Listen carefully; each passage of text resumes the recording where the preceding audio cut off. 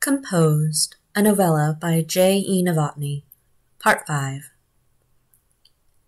Nathan insisted on walking Camilla home after the performance that night. It was just as well. This way she couldn't be tempted to run off to the forest in the dead of night. He treated her with a strange deference now, half mocking it seemed at one moment, then fully serious in the next. He put her cloak over her shoulders for her before they walked into the chilly evening air. Camilla lived close to the theater, as did Nathan. They lived, in fact, in the same building. Camilla had the apartment on the third floor, while Nathan had a bedchamber and private bath on the second floor. He shared a kitchen with the other residents of the second floor. Camilla sometimes felt that her living space was extravagant for her means, but Nathan, who handled her finances, assured her that it was within her means and that it was best all around for her to have such quarters.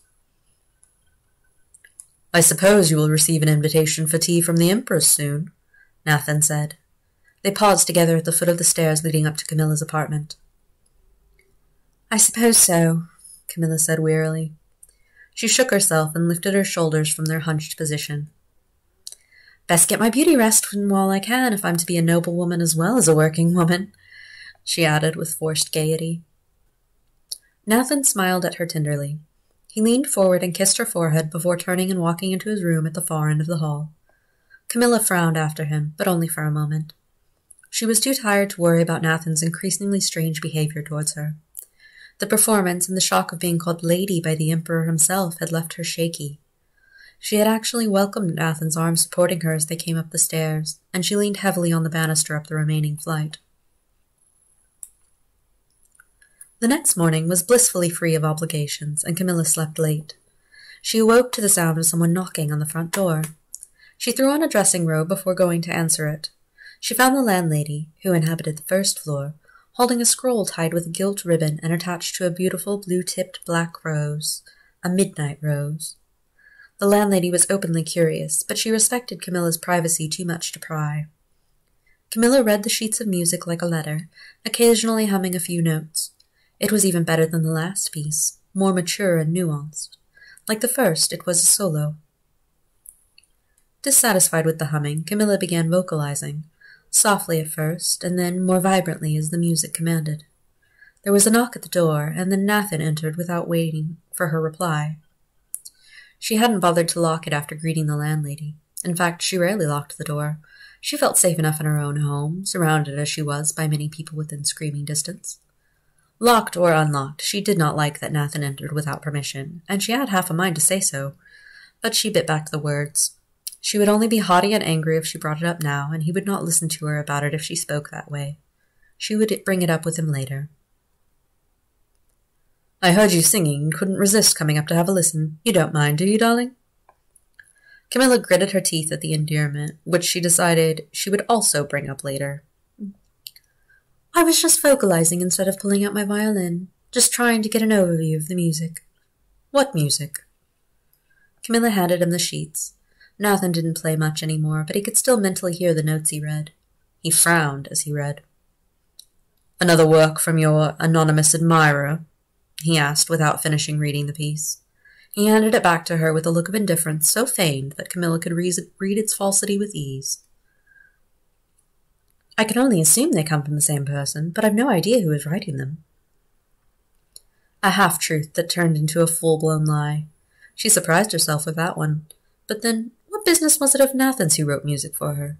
He was her manager, and technically, legally, on paper, her guardian. An unmarried woman with no living relatives required a legal guardian by law, as if a woman was incapable of looking after herself without the aid of a man.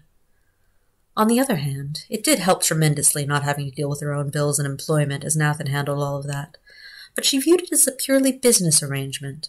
He had no say over other parts of her life. She tasted the lie in the back of her throat at this thought as surely as she tasted the lie she just told Nathan. Well, it's very beautiful, he said, somewhat reluctantly. And after the Emperor's endorsement of the first song, I suppose we should be grateful that he's chosen to write for you. Could be a woman, Camilla said with a shrug. Let's not jump to conclusions. Fair enough, he said with a low chuckle that set Camilla on edge again, just as she was beginning to relax. Well, I'll leave you to it, I suppose. Unless you'd like to join me for breakfast. I thought of walking around the corner to the bakery. Oh, that sounds lovely. I'll meet you downstairs in, say, ten? When they returned from eating buttery croissants and sipping strong black tea, there was an imperial messenger waiting for them in the foyer of their apartment building. His gold and sky blue embroidered livery was unmistakable. As soon as they entered, he approached Camilla with a low bow and extended a silver tray bearing an envelope. Lady Camilla was scrawled in elegant script across the envelope face. I am to await a reply, lady, the messenger said. Camilla returned to the entryway table where ink and pens were kept for such purposes, along with some ancient stationery, the top page of which was caked with dust. Camilla used the tarnished silver letter opener and read the message inside quickly. The invitation to tea had come sooner than she had expected, much sooner, and she had not expected her guardian to be included in the invitation. But Nathan would be pleased, and it would be nice to have him with her in the strange environment. She took one of the lower pieces of paper from the stationery pad and took a couple of deep breaths to steady her hand before writing her acceptance for both of them. There were no envelopes available, and Camilla was certain she had none in her room. It couldn't be helped. She folded the response in thirds and held it out to the messenger. He bowed, smiled, and slipped past Nathan to exit the building. As he left, Camilla took note of the cracks in the paint of the foyer walls, the water stains on the ceiling tiles, the mud on the carpet, her face burned with sudden shame. How could the Emperor have given her a noble title so effortlessly? And what did it matter? Titles did not make her wealthy, did not make her mistress of her own fate, and did not protect her from the need to play for her keep.